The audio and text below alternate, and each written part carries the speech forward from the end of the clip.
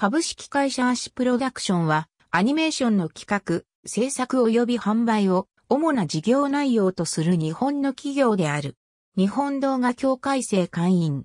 1975年、竜の子プロダクションで CM 制作と版権営業の仕事をしていた佐藤俊彦、加藤博士らが新興の玩具会社、竹見の要請により独立してアシプロダクションとして創業。後発の会社のため放送枠の確保に苦労し、創業当初の3作品はやむなく日本アニメーションの看板を借りて放送にこぎつけた。クジラのホセフィーナから宇宙戦士バルディオスまでの4作品は日本アニメーションの代わりに国際映画社との共同制作となり、戦国魔人、豪将軍からは自社単独制作となった。主にオリジナル企画が多いが、数こそ少ないものの原作ものも手掛ける。後述のウィズグループ離脱以降の2010年代では、原作アニメの比率が多くなっている。2001年11月に大幅な増資とともにバンダイグループ参加となったが、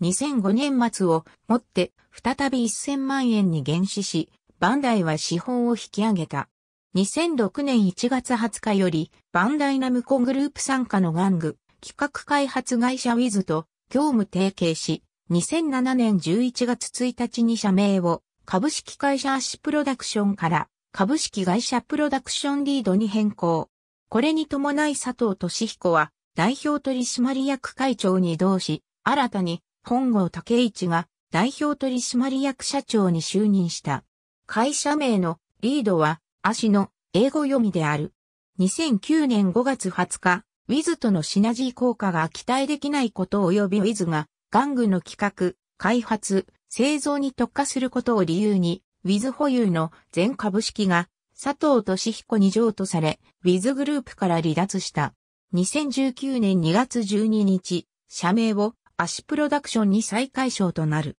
関係者が設立した企業としては、1980年代前半にプロデューサーの相原義明を中心に若手スタッフたちが集まり設立した要プロダクション、映画編集者の掛須修一が独立した変見年を迎えて1990年に設立した J フィルム、同年に制作進行の木村健吾が独立して、同年に設立した東京キッズ、制作プロデューサーの下地下頭が独立して1995年に設立した GBEC、創業メンバーの加藤博士らが独立して1998年に設立したアクタス制作プロデューサーの石坂徹が独立して2000年に設立した iMove 制作プロデューサーの村田敦氏らが独立して2018年に設立した魔法フィルムがある。公式ホームページアシプロダクション公式からツイッターありがとうございます。